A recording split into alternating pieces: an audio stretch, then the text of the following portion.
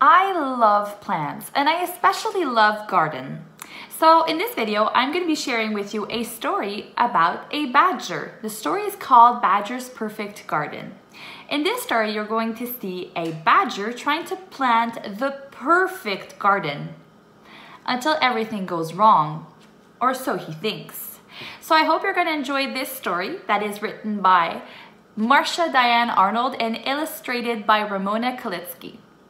So I will see you at the end of the video. Enjoy the reading.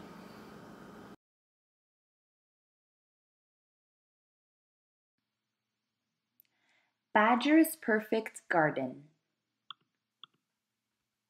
One spring morning, Red Squirrel found Badger surrounded by dozens of jars. The jars were filled with seeds. The seeds looked hopeful, just like Badger. Are you doing with all those seeds, Badger? Uh, getting ready to plant. I gathered them late last summer and kept them in jars all through the winter and fall. Now I'm going to plant a perfect garden. Red Squirrel looked closer. They're all different. Yes, all kinds green and brown, flat and round, bumpy and smooth, whirly curly and straight as my whiskers. Where did you find them? Some from uh, Weasel's garden, some from the wildflowers near Dormouse's home. Some stuck themselves to my fur, and some floated in on the wind. You have so many, said Red Squirrel. You'll need help planting. Weasel brought his favorite rake. Red Squirrel helped Dormouse gather string. Badger studied his garden plan. We have to make sure the ground is perfectly smooth, said Badger. Everyone weeded and raked. When the earth was as smooth as the forest pond in winter, Badger pushed big sticks into the dirt. Red Squirrel and Dormouse stretched strings between the sticks to mark rows. Be sure the rows are perfectly straight, said Badger. Weasel found a twig to make holes for the seeds. Bumpy seeds in this row, round ones here. Keep the whirlies together, Badger directed. When the seeds were planted, Badger invited his friend to a celebration. Everyone enjoyed muffins and mulberry juice. Badger imagined the plants that would grow in perfect rows in his perfect garden. The next day, the sky sent showers. Badger smiled. The day after that, it sent heavy rain. Hmm. Badger worried. The day after the day after, it sent a downpour. Badger grabbed his umbrella and rushed outside. He ran up and down the rows trying to cover his seeds. The rain kept pouring.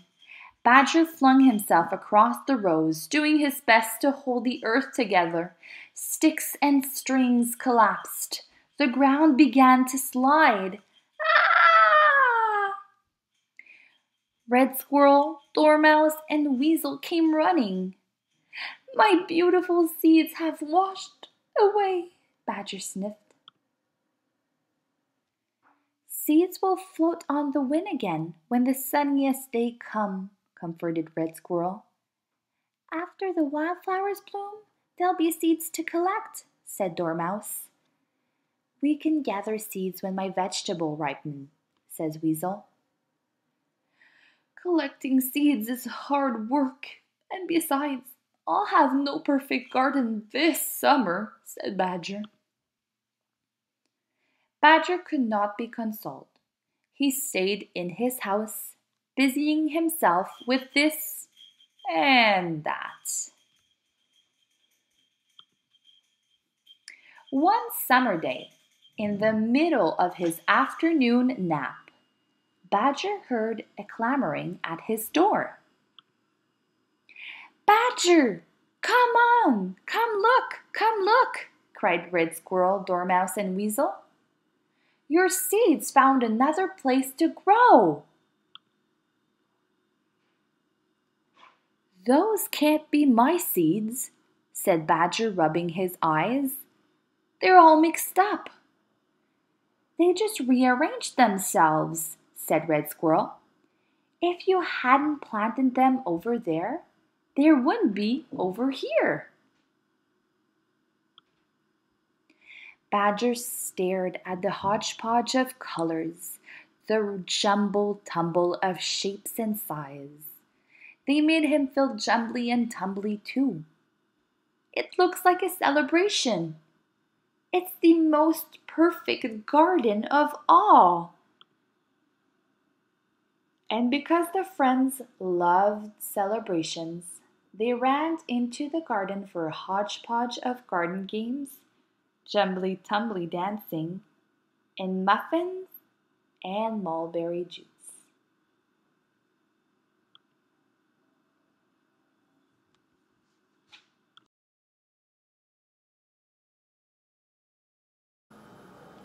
In the end, Badger got his perfect garden after all.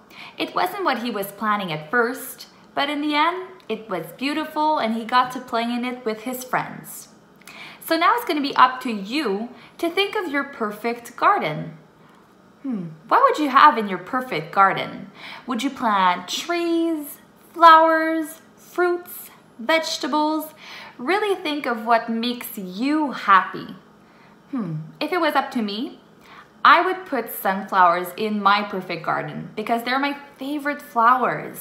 They're very tall, kind of like me, and they're always turning towards the sun, which is very positive and happy, so it makes me happy. So just think of that when you're designing your perfect garden. You can use the document that I've put next to this video or you could just simply use a piece of paper at home to do your drawing and writing. So have fun designing your perfect garden and get planting!